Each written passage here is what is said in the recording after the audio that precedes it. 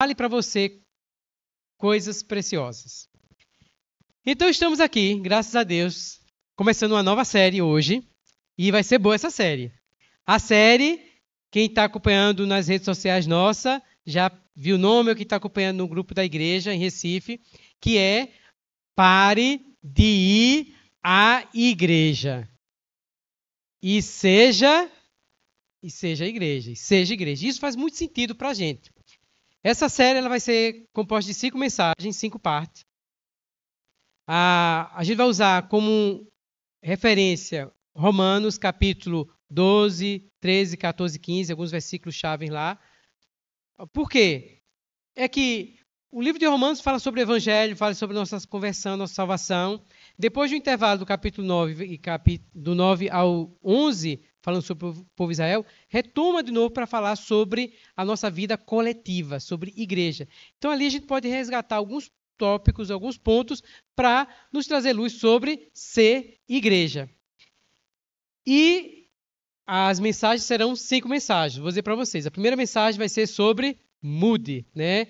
Baseado nesse versículo de deixar Deus transformar nossa maneira de ver e não nos conformar com o mundo, não apenas no pecado, mas em relação até mesmo com relação à visão que a gente tem, a perspectiva que a gente tem sobre igreja. Segunda mensagem vai falar sobre um assunto que às vezes a gente não gosta de falar, e essa semana eu estava pensando assim, oh, vamos falar sobre isso mesmo, é obediência. Né? Principalmente hoje, na sociedade, que a gente, cada um faça o que cada um queira, e não obedeça a seu ninguém. Mas a gente vai falar sobre isso, obedecer, na próxima semana. A terceira mensagem vai falar sobre amar, ser igreja amando, sobre amar. Que aí entra nesse aspecto de cuidar das feridas do corpo de Cristo, como o Senhor já começou a ministrar para a gente hoje, essa manhã, sobre isso aí. Né? Porque, outra coisa, irmãos, essa, as mensagens é construída junto conosco. É o que a igreja vai falando, é o que o sentimento do Senhor vai dando para um, para outro, e Deus vai construindo. A outra mensagem que a gente vai falar, a gente vai falar sobre mudança, sobre obedecer, sobre amar. A outra vai ser sobre lutar. Não apenas lutar contra o pecado, mas lutar também contra a mornidão nossa. E, por fim, sobre acolhimento, sobre acolher. Então, sobre hoje, falando sobre mudança. Né? Ah, geralmente a gente pergunta assim, o que é igreja? É, raramente a gente vai perguntar quem é igreja. Quando a gente quer saber sobre igreja, o que é igreja? Uma outra coisa também, não sei se você consegue perceber a diferença entre ir para a igreja e ser igreja. A diferença que há nisso aí. Sem dúvida, a gente gosta de ir para a igreja. Por isso que estamos aqui.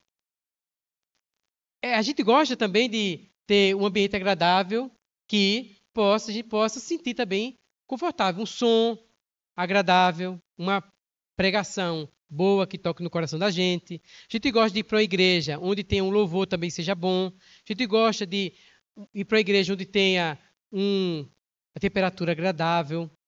Né? Não é que a igreja tem que ter essas coisas estruturais, mas se tiver, é bom para o nosso conforto. Não é pecado, é importante ter isso. A gente gosta também de fazer programação, de fazer evento. A gente gosta de é, de estar junto com as pessoas. Isso faz parte da gente ir para a igreja. A gente pode dizer que isso são coisas, né? Que faz parte de o que é igreja. Só que a gente, quando começa a frequentar a igreja, a gente percebe que a gente precisa de mais do que isso e que igreja é muito mais do que essas coisas. Na nossa cultura também é comum as pessoas falarem assim: ah, eu vou para a igreja. E quando se fala de igreja, fala de uma construção. E está correto. Hoje, no conceito nosso, está correto. A gente não pode deixar de dizer que está indo para a igreja. É a igreja mesmo. É, não é um banco que você vai, não é um clube. Você está indo para uma igreja, que é um prédio. Hoje, na nossa cultura, prédio também se chama igreja. Só que na Bíblia, igreja é muito, muito, muito mais do que isso. É muito mais profundo e muito mais espiritual do que isso. E é sobre isso que a gente vai falar, que a gente precisa também mudar e ampliar nossa perspectiva sobre igreja. E aí é interessante, quando a gente vai ver no Novo Testamento, estudar a palavra igreja, onde ela surge, a gente vai encontrar ali em Mateus capítulo 16, no Novo Testamento, primeira vez que é mencionada. E quem menciona igreja? Isso parte não de uma a ideia humana, de pessoas humanas dizendo assim, ah, vamos fazer e vamos criar a igreja, vamos fazer a igreja. Mas surge do coração de Jesus Cristo falando sobre igreja. Então, igreja é algo de Deus. Isso é interessante. E aí, antes de Jesus falar sobre igreja, em Mateus 16, Jesus faz uma pergunta. Ele pergunta para os seus discípulos: Quem vocês dizem que eu sou? E aí, nisso, quando a gente vai ver também durante a, pela Bíblia toda, isso vai, começa fazendo sentido para a gente. Porque Jesus está perguntando, embora Jesus não ensinou e não deixou na Bíblia como devem ser os encontros, como é que deve ser a igreja, o que é que deve ter, como é que deve ser o culto, quais são os usos, quais são os costumes. Jesus não deixou claro sobre isso. Mas Jesus pergunta: quem eu sou? Isso é muito significativo. Depois, ainda antes de falar sobre a igreja, Jesus fala assim: e eu vou dizer para você, Pedro, quem você é. Porque até então o nome de Pedro era Simão. E Jesus chama ele então de Pedro, que significa uma pequena pedra. Graças a Deus, Pedro, na língua portuguesa, como o português vem do latim, para nós não faz muita diferença, a gente já percebe já a a proximidade com a palavra pedra. É Pedro, pedra. Só trocar uma letrinha ali já está. Então, para nós brasileiros, não é muito difícil a gente compreender a, o significado. Então, Jesus já revela para Pedro quem ele é. E isso faz muito sentido para a gente. Porque ser igreja é saber quem Jesus é e saber quem você é. Porque a igreja ela vai muito mais do que a nossa programação, vai muito mais do que o horário, vai muito mais do que o ar-condicionado, do que as cadeiras. Ela vai sobre quem Jesus é e quem você é. Saber disso, você vai perceber que você não é um visitante de igreja. Você não é um frequentador de igreja. Você é uma pedra. Lá em Pedro, depois, próprio Pedro, mais adiante, vai falar assim. Isso impactou tanto Pedro que ele falou assim: Nós somos pedras vivas. Jesus é a pedra, a pedra de base e a pedra de topo.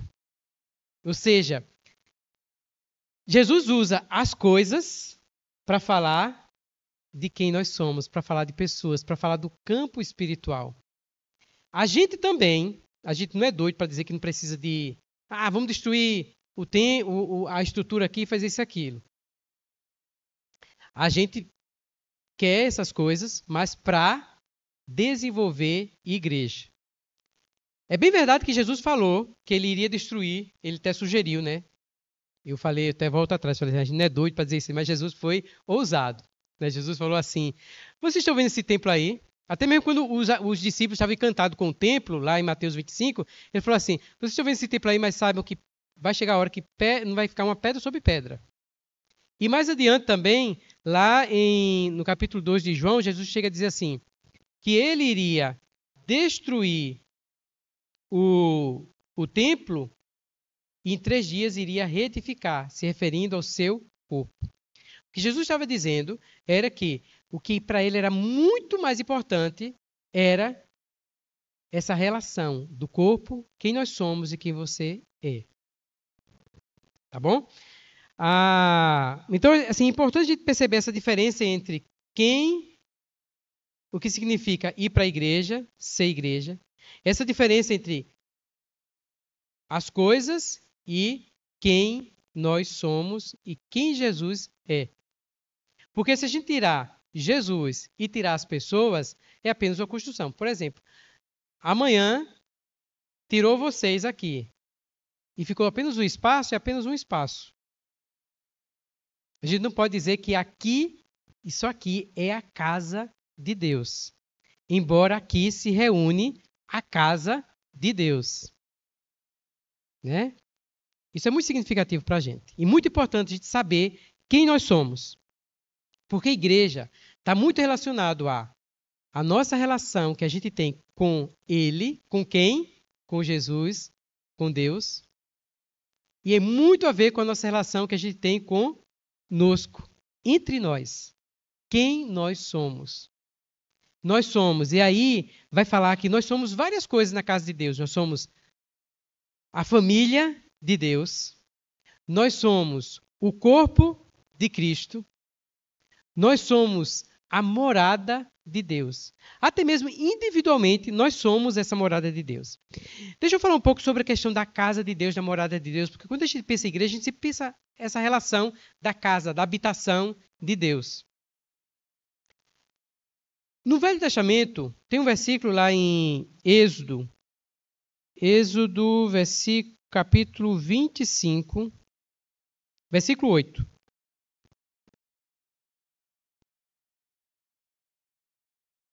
Isso sobre a questão de morada, sobre a casa. Deus falou para o povo de Israel: instrua os israelitas a construírem para mim um santuário, que foi o tabernáculo, para que eu viva no meio deles. Então, no Velho Testamento, a gente percebe que Deus escolheu um lugar para ele morar. Inclusive, lá em Deuteronômio, capítulo 6, fala que Deus escolheu Sião, Jerusalém, para a sua morada. Para ali o povo de Israel, três vezes ao ano, ir lá para o templo para adorar. Então, se a gente vivesse naquela época, para achar a morada de Deus, ou achar pelo menos a glória de Deus, encontrar Deus, que é tão santo, tão poderoso, que habita nos céus, a gente iria para onde? A gente iria para Jerusalém. Na época de Moisés, a gente iria para o tabernáculo, a gente iria para esse lugar para a gente poder encontrar Deus. Ah, e depois a gente tem a glória de Deus morando também no templo lá de Salomão. A gente vê lá em Ezequiel falando da visão de um templo. Então, a gente percebe, a gente associa templo com a habitação de Deus. No Velho Testamento, se a gente quisesse encontrar Deus, a gente iria para lá. A ponto que quando aquela samaritana encontrou com Jesus, falou assim: Senhor, uns dizem que é lá em Samaria, outros dizem que é aqui que eu devo adorar, devo encontrar Deus próprio Jesus também considerou ali o templo quando falou assim: vocês estão fazendo a casa do meu pai um lugar de vendas e salteadores. Então, o templo ali em Jerusalém tem um significado muito forte para o povo judeu e para a humanidade. Ainda hoje tem um significado muito importante que existe tanta briga lá por aquele espaço lá terreno. Quando Jesus vem, muita coisa muda. Por isso que é importante saber quem é Jesus. Porque lá em João capítulo 1, versículo 14, fala que. Deixa eu achar aqui o versículo.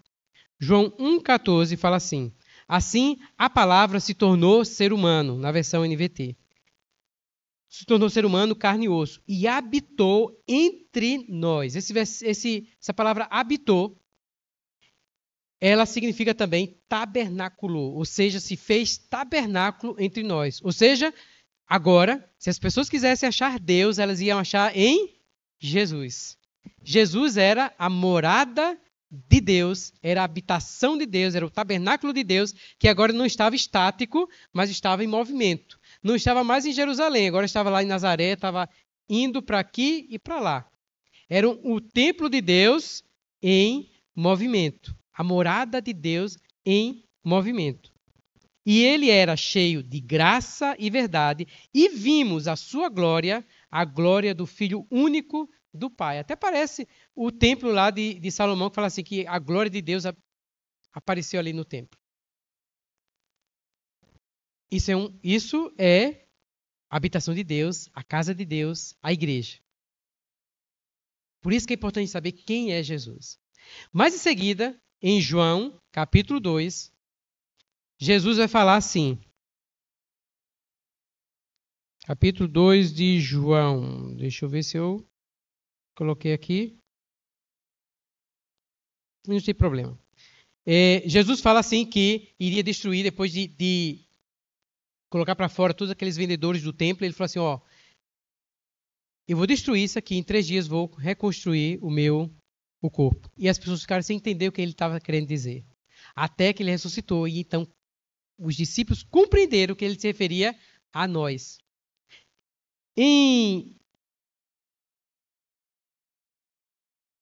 Coríntios, fala assim. 1 Coríntios 6, do 19, fala: Vocês não sabem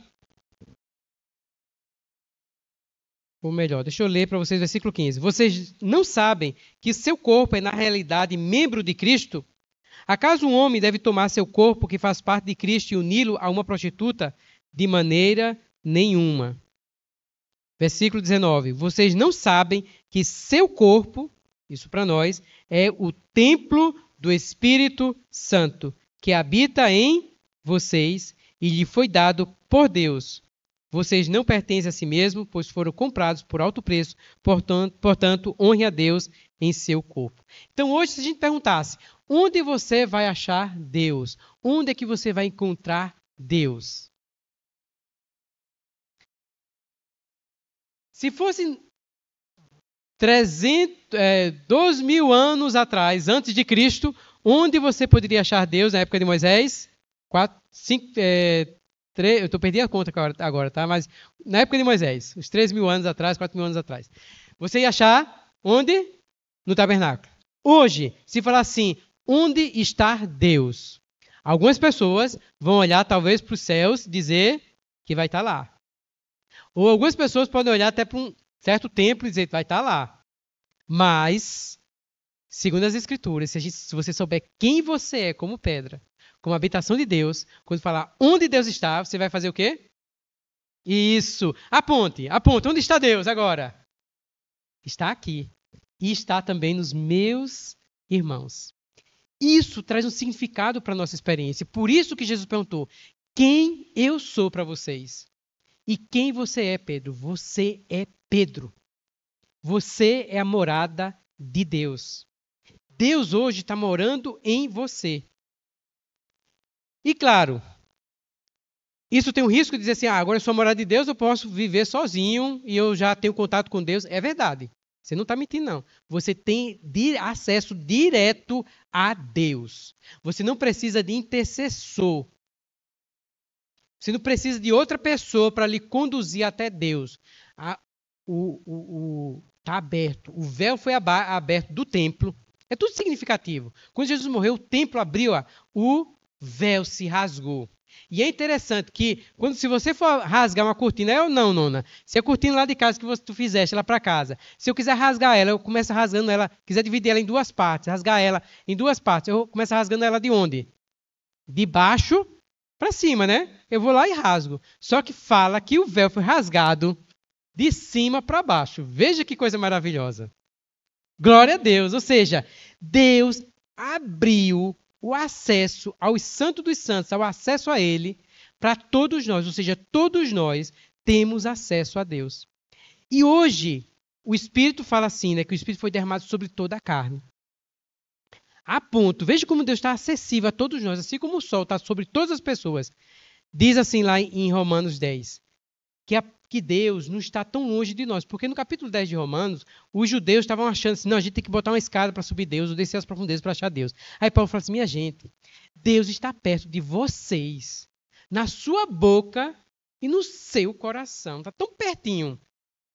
É só você abrir a boca, crer com o coração e confessar com a boca que Jesus Cristo ressuscitou, que você vai receber todas as riquezas de Deus. Porque Deus é rico para com todos aqueles que invocam o nome dele, que chamam, que clamam por ele. Então, ou seja, Deus hoje está sobre todos nós, esperando apenas que você abra para ele entrar. Para ele fazer de você, a sua morada, o seu templo. Veja que privilégio. Saber disso, que a gente é pedra, que a gente é parte dessa construção, não faz sentido a gente apenas ser frequentadores de igreja e não mudar a nossa vida. Está errado. Porque se você souber quem Jesus Cristo é, quem você é nesse propósito de templo, de igreja, de casa, de habitação de Deus, você vai ser assim: peraí, eu sou morada de Deus. Eu sou habitação de Deus. Não apenas no sentido de importante, sentir-se importante. Eu me sinto importante. Quando, assim, meu Deus, eu sou morada de Deus. Eu me sinto o máximo. Sério. Mas isso não é apenas para questão de superioridade, mas questão assim, Gente, isso mexe comigo, isso muda com minha vida, isso me dá em mim uma responsabilidade de mudança e de transformação. Por isso não posso ir apenas ir para a igreja frequentar e permanecer a mesma pessoa. Pelo contrário, isso mexe comigo. Isso mexe com as outras pessoas. Por isso eu não, eu não quero viver é bem verdade que você tem todo esse acesso ao Pai e você pode ficar só assistindo, viu? Você que está aí, só vive de assistindo online, né? Fica, não vai para a igreja, mas assiste todos os cultos aí. Irmão, vá procurar uma igreja física, reunir. Eu sei que dá problema. Porque o que acontece? Jesus revela, veja Mateus 16. Mateus 16, Jesus fala sobre a igreja. A gente se encanta. Mateus 18, Jesus vai falar sobre a igreja, já em outro contexto contexto de situação de conflito entre as pessoas. Porque igreja é a questão de relacionamento com Deus e entre pessoas. O nosso relacionamento com Deus é maravilhoso, não tem problema. Por isso que você viver sua vida individual, sozinha, em casa, no seu quarto, orando, lendo a Bíblia, é tranquilo, em parte. Só que você também não é muito transformado, você não é muito trabalhado. Porque no capítulo 18, Jesus fala que quando houver problema entre um e o outro irmão, você vai ter com ele e tenta resgatar. Se ele não ouvir, chama outra pessoa para conversar com ele. Se ele não ouvir, vai e fala à igreja. Ou seja, conflito, igreja. Porque relacionamento, a gente vai ter dificuldades um com o outro. E são oportunidades de a gente exercer perdão, são oportunidades de a gente passar a ferida curar da ferida do corpo de Cristo. É a oportunidade de a gente ampliar o nosso coração, de amar, de compreender, de ver que Cristo está em mim e Cristo também está no irmão. Né? Onde que Cristo está? Aqui e também no outro irmão. É desenvolver a capacidade de ver que, além do, das falhas daquele, do irmão, eu posso ver Cristo que tem nele eu posso ver o potencial de transformação que a vida de Deus pode atuar no meu irmão. Isso gera em nós um ambiente de amor, de compreensão, de acolhimento, de obediência à palavra de Deus, de cuidar de ser igreja. Então, como é importante a gente congregar, a gente fazer parte de uma igreja, igreja que seja igreja, tá? É importante que a gente faça parte. Ah, é, Alguns versículos ainda falam sobre isso assim, né? Em Hebreus, Hebreus fala assim que Hebreus 10, 25. E não deixem de nos não, não deixemos de nos reunir, como fazem alguns. Por quê? É importante reunir. Porque nessas reuniões a gente encoraja um ao outro, a gente fortalece um com o outro. A gente ouve a palavra de Deus um com o outro. A gente fortalece um outro. A porção de Cristo que eu tenho, eu posso dar para o outro, o outro dá para mim. Né? A gente encoraja, junto a gente encoraja. Essa semana teve uma experiência muito legal, né? É... Beta e Patrícia. Patrícia chegou do. Beta estava cansada para ir para a reunião do grupo familiar. Vou falar, não tem nada demais, desculpa. Não pedi permissão, mas vou falar que isso não vai expor ninguém, não. É, eu não costumo fazer isso, não, tá? Mas também não é também. Agora fiquei constrangido. Mas vou falar. É que Beto disse que estava um pouquinho cansada, né? E aí, Beto disse, Rogério, quase que eu ligava para tu dizer assim: eu não vou para a reunião de grupo familiar, não, porque eu tô. E essa semana para Beta foi puxada assim de cansaço para coitadinha. Aí, na hora que eu liguei para Beta, falei: Beta, tu queres carona? A Beta falou que quem estava chegando nessa hora era Patrícia. E Patrícia estava chegando, minha gente. De São Paulo. Tinha acabado de chegar do voo dela, estava chegando, entrando na porta de Beta. E quando Beta, Patrícia, quer dizer, quero ir. Aí Beta disse que, quando viu isso assim, eu também vou agora. Ou seja, o que eu estou usando esse exemplo? Para ver como é importante um ao outro no nosso encorajamento. Porque a gente sozinho, às vezes a gente está. A gente tá, às vezes, sim, misericórdia, Senhor, estou, né? Quantas vezes eu já fui encorajado pelos irmãos, né? Eles vão chegar assim, sem saber de nada, falar uma, palavra só caladinho, né, Neymar? A gente tem uma situação, né, até que relembro esses dias. Chegou ali, deu uma palavra só calado. Fale, certo, tá. Só Deus sabia o que, é que eu estava passando, como é que eu estava destroçado, destruído, só ouvindo. né? E Deus confirmando e firmando. Então, assim, como uma questão de corpo, como uma questão de igreja, faz isso na gente, nos confirmando, nos fortalecendo, nos dando força. Por isso, não deixe de se congregar.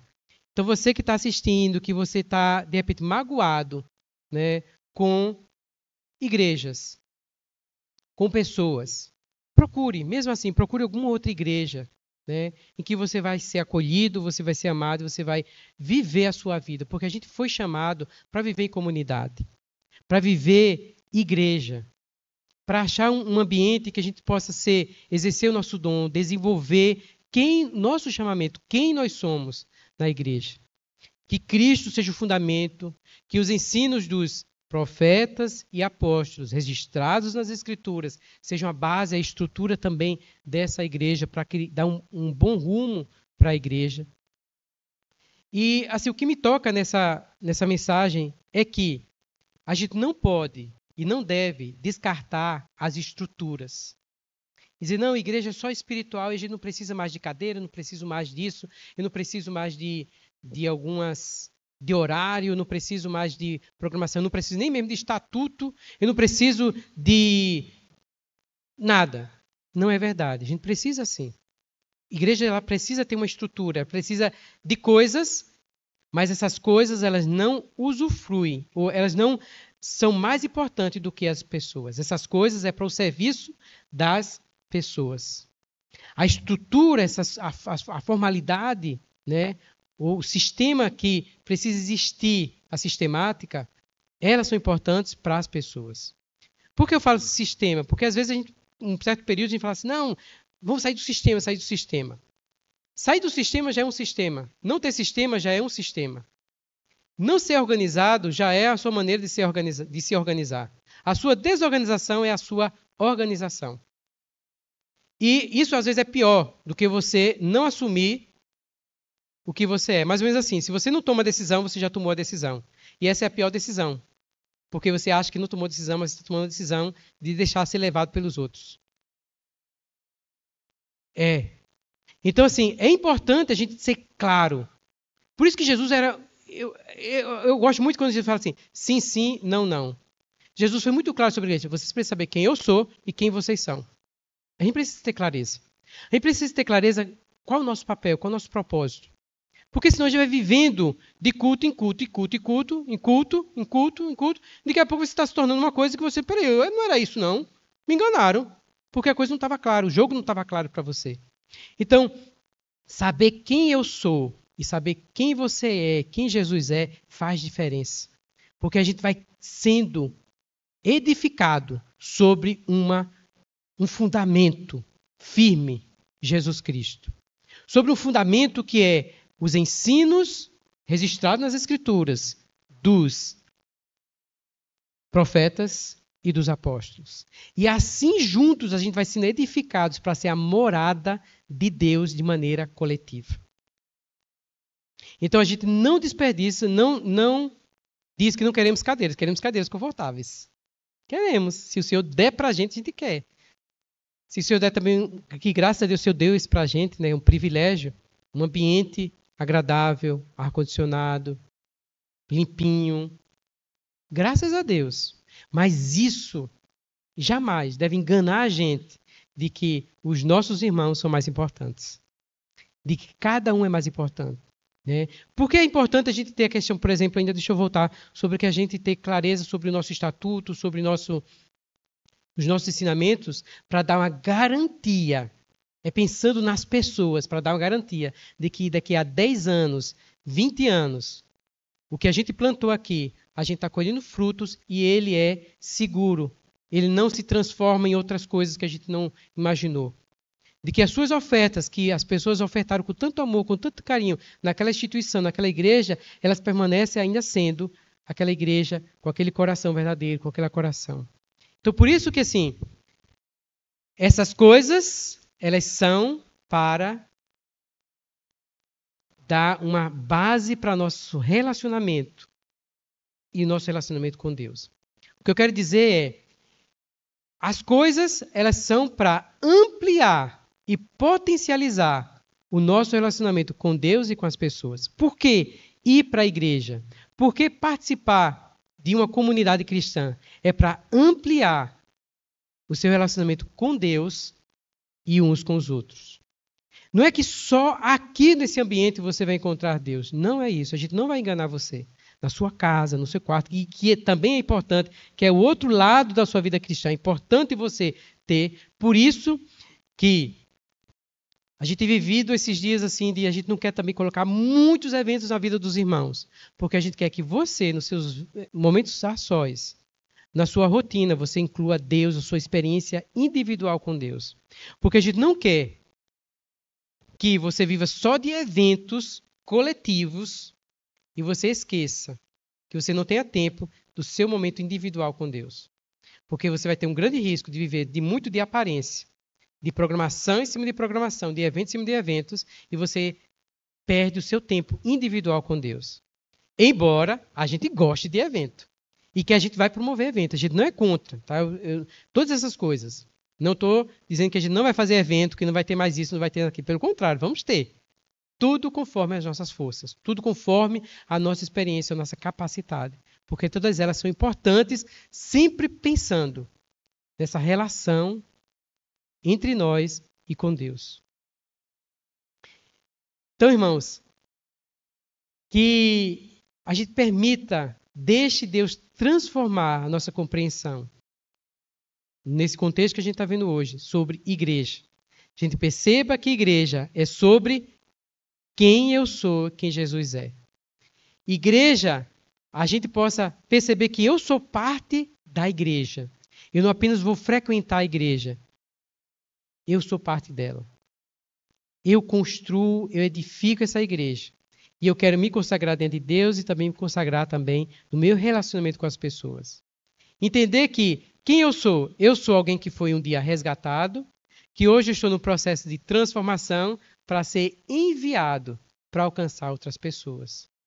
Eu fui resgatado um dia, eu estou sendo transformado por meio da edificação, da comunhão, do aperfeiçoamento, da aprendizagem, do ensino, da oração, com o propósito de eu ser enviado.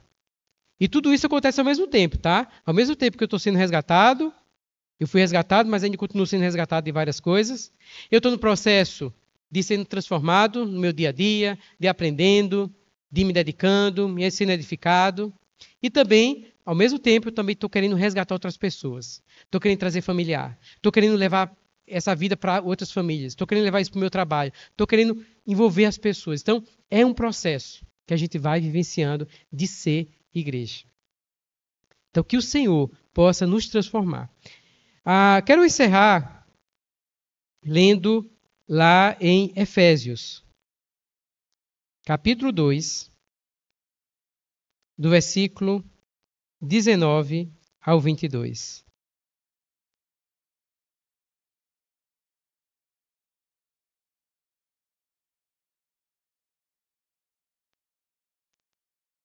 A gente leu, mas vamos reler de novo juntos, tá? Portanto, portanto, vocês já não são estranhos e forasteiros. Ou seja, todos nós que estamos aqui, você já não é estranho e nem um forasteiro, tá? mas você é concidadão do povo. Ou seja, veja outra vez aqui, quem você é. É importante saber quem nós somos. Quem eu sou? Eu sou parte. Eu me sinto parte da família de Deus, do povo santo. Eu faço parte dos membros da família de Deus. Isso é muito bonito, irmãos. Você é como cidadão do povo, você faz parte do povo. Você é da família de Deus. Se alegre com isso. E juntos, não é sozinho, juntos, quem você é? Somos a sua casa. Juntos somos a sua casa. É verdade, sozinho sou Pedrinho, sou Pedro, né? Eu sou o templo, sou a habitação de Deus, mas juntos nós somos a casa. Por isso que é importante você saber quem Jesus é e quem você é. Juntos nós somos sua casa. E nós somos o quê? Edificados, estamos sendo edificados sobre os alicerces dos apóstolos e dos profetas. Me permite só abrir um parênteses. Apóstolos e profetas, os escritos que estão registrados na Bíblia. E a pedra angular é o próprio Cristo Jesus. Tanto ele é a pedra que está ali, sendo a base, como ele é a pedra também de topo, também, de conclusão também dessa construção. E nele, em Jesus, por isso que assim, ó, é importante saber quem Jesus é. Nele somos firmemente unidos, constituindo um templo santo para o Senhor.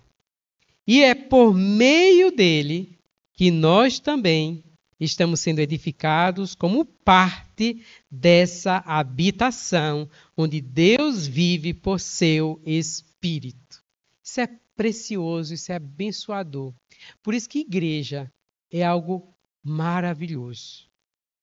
Igreja é algo grandioso, é algo poderoso. E que a gente não tem medo que as portas do inferno elas nunca vão prevalecer contra a igreja. Desde que a igreja surgiu, quantos desafios a igreja passou? Quantas ameaças passaram? Desde de perseguição, de destruição, de heresias, de muitas outras coisas, como hoje a gente vivencia, às vezes, muitos escândalos. Muitas pessoas falando mal de igreja, desencorajadas e decepcionadas com igrejas.